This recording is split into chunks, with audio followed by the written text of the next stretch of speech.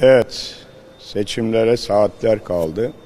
Yarın inşallah Cumhurbaşkanlığı seçimi ve milletvekilliği genel seçimi için milletimiz sandık başına gidecek. Demokratik hakkımızı, oyumuzu kullanacağız ve gelecek 5 yıl için Türkiye'yi yönetecek hükümeti seçeceğiz.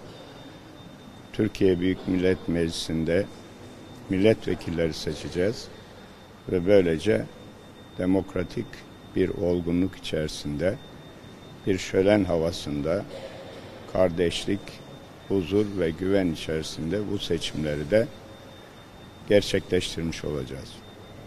Bunun dışında bazı Avrupa gözlemcilerinin de e, işte Türkiye'de seçim sonrası kaos planlarına ilişkin bazı iddialar vardı. Neler söylemek istersiniz? Evet bir kere e, vatandaşlarımız şunu bilsin, Sayın e, Kılıçdaroğlu da şunu bilsin ki e, olmayan seçimin daha seçim olmadan seçim güvenliğini gündeme getirmek çok doğru bir iş değil. E, kaldı ki hükümetimiz seçimin güven içerisinde, huzur içerisinde geçmesi için aylardır gereken tedbirleri alıyor. Ne tedbirler alınıyor? Sandık güvenliği, efendim e, herhangi bir olumsuzluk yaşanmaması için elektrik kesintisi vesaire veya ulaşımda herhangi bir olumsuzluk yaşanmaması için gerekli bütün tedbirleri ilgili bakanlıklarımız alıyor. Dolayısıyla e, hiç vatandaşımız rahat olsun. Seçim güvenliğine ilişkin en ufak bir tereddüt yok. Diğer adaylar ve muhalefet partileri de rahat olsun. Türkiye demokratik olgunluk içerisinde son 15 yıl içerisinde AK Parti iktidar döneminde başarıyla genel seçimler, yerel seçimler ve halk oylaması toplam 12 seçimi gerçekleştirildi.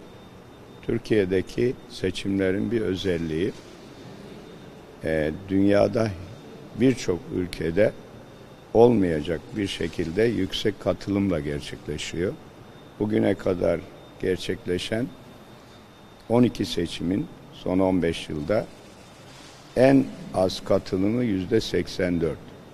Dolayısıyla halkımız e, seçim konusunda bilinçli, demokratik hakkını kullanmak suretiyle ülkenin geleceğinde ben de sözümü söyledim diyor ve sandıklara e, geliyor.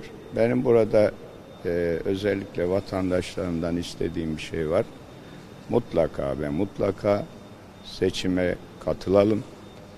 E, geleceğe yönelik, ülkemize yönelik kadroların seçiminde benim de katkım var diyelim. Vatandaşlık hakkımızı e, kullanmayı ihmal etmeyelim. Ayrıca seçim günü e, son saatlere kalmayalım. Yığılmalar olmasın, e, sıkıntılar yaşanmasın. Erken saatlerden itibaren sandıklara gidelim, oyumuzu kullanalım. Bu yabancı gözlemcilerin her zaman yaptığı bir şey var. Bütün seçimler öncesi kafa karıştıran açıklamaları hep yaparlar. Ee, bizim onlara söyleyeceğimiz şudur. Gelin isterseniz 400 değil 800 kişi gelin. Ama adam gibi seçimleri izleyin. Siyasete müdahale etmek gibi bir yanlışın içerisine düşmeyin. Türkiye demokrasisi gelişmiş bir ülkedir. Türkiye bir hukuk devletidir. Türk insanı demokratik olgunluğu en iyi şekilde seçimlerde ortaya koyan seçmendir. Dolayısıyla sizden seçimlerin nasıl yapılacağını, hangi şeffaflıkta yapılacağını, hangi saydamlıkta yapılacağını öğrenecek değildir. Bizim istediğiniz kadar seçimlerde gözlemci bulundurmanız da esasen bu konuda ne kadar rahat olduğumuzu ortaya koymaktadır. Ama maalesef bazı gözlemci grupları belirli marjinal siyasi yapılanmanın sözcüsü gibi davranıyorlar. Bunun da eee, doğru olmadığını düşünüyoruz ve seçime böyle veya böyle müdahale anlamı taşıdığını düşünüyoruz. Hiç kimsenin Türkiye'deki yapılacak bu seçimlere gölge düşürmeye, soru işareti oluşturmaya hakkı yoktur. Bu kabul edilemez ve Türk insanına da yapılabilecek en büyük haksızlıktır. Seçim kampanyasını. Evet. Oyunuzu nerede kullanacaksınız E, tabii ki İzmir'den adayım.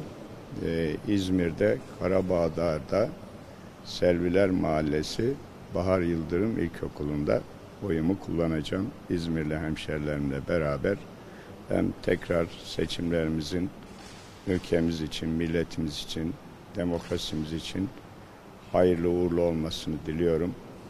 Sağlık, huzur ve güvenlik içerisinde bir seçimin e, geçmesi için Yüksek Seçim Kurulu başta olmak üzere asıl seçimlerin sahibi Yüksek Seçim Kurulu'dur. Yüksek Seçim Kurulu ülkenin her yerinde gerekli hazırlıkları yapmıştır.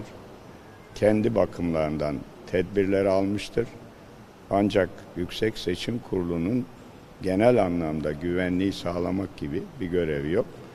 İhtiyaç duyulması halinde bu güvenlik tedbirleri de polisle, jandarmayla e, sağlanmış olacaktır. Sağ salim güzel bir seçimi idrak edip böylece bu süreci de e, başarıyla tamamlayacağız. İstikrar ve güven içerisinde ülkemiz bundan sonra e, 2023 hedeflerine Gazi Mustafa Kemal Atatürk'ün işaret ettiği muasır medeniyetler seviyesine emin adımlarla yoluna devam edecektir. Bütün milletimi sevgiyle, saygıyla selamlıyorum ve mutlaka mutlaka sandığa gitmelerini özellikle istirham ediyorum. Teşekkür ederim.